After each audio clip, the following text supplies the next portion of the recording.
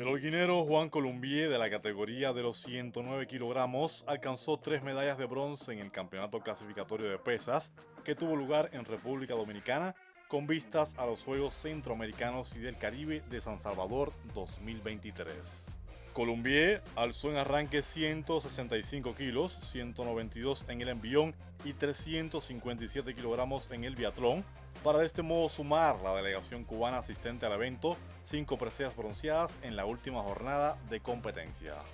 La actuación de la mayor de las Antillas finalizó con un total de 13 medallas, de esas 4 de oro, 2 de plata y 7 de bronce. En el caso de Orielvis Begué, de los 96 kilos, otro de los exponentes cubanos que intervino en la lid, también logró medalla de bronce al levantar 160 kilogramos en el ejercicio de arranque, además de conquistar el tercer puesto en el biatlón con 354, según indicó a medios de prensas nacionales el presidente de la Federación Cubana de Pesas, Jorge Luis Barcelán. De Sorguín, Orestes Rodríguez Fojo, Sistema Informativo de la Televisión Cubana.